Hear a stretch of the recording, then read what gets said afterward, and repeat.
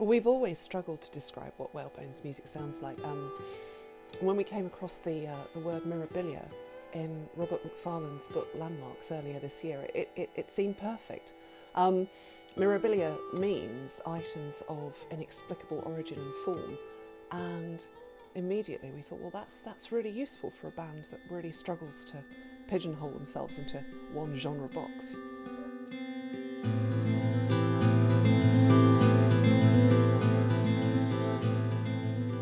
Created new sounds and textures on, on this new album, Mirabilia, uh, using a variety of different techniques.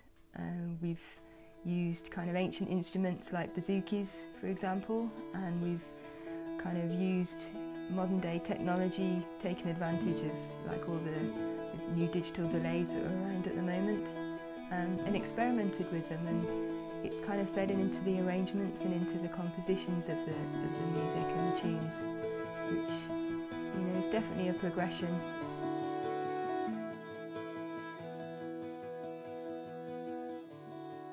We've always had a wide range of influences and everything we listen to influences us to an extent.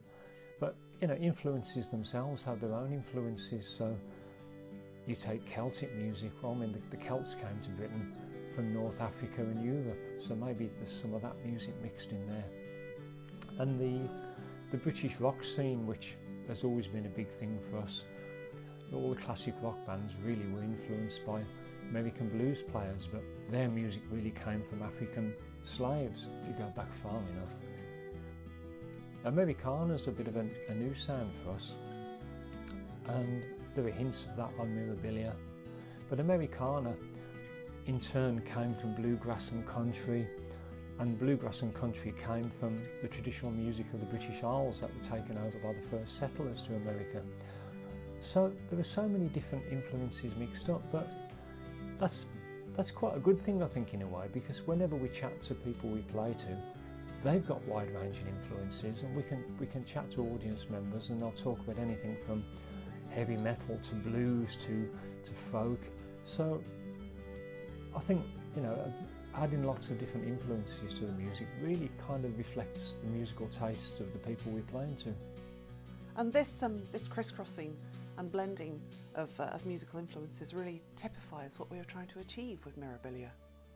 So right from the start of writing material for Mirabilia, um, we kind of agreed not to be tied down to kind of traditional song structures um, or formats. You know, if if something wanted to be um, just a big long verse followed by a big long solo, that was fine. We didn't have to to go back to the first verse again. You know, so it was it was kind of a relaxed.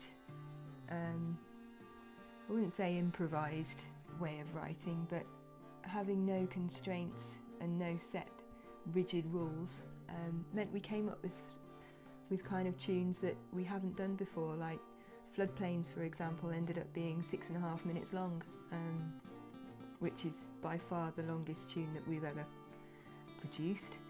Um, and you know that's fine, that's great. It's it seemed to be what the what the music was telling us to do, so we did it.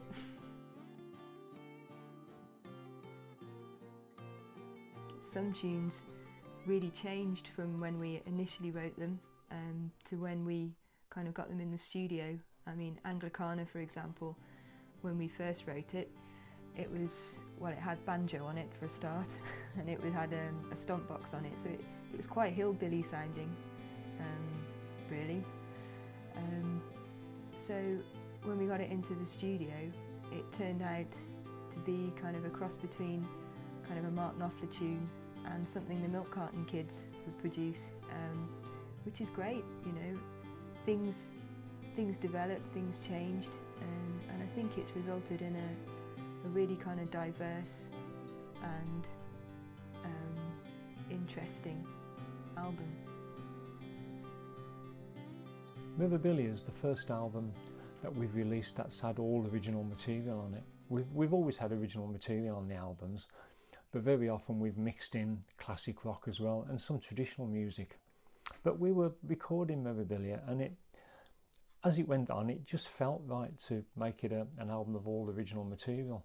It's not that we don't like the other stuff, it's just that at this time and place, it felt like this is what we needed to do. So Mirabilia is a culmination of everything that's gone before for us. The, the, the traditional sounds and the, the classic rock feel, they're still in there, but they've been absorbed into our own writing.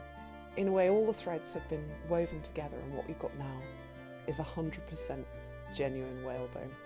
So we really hope you like it.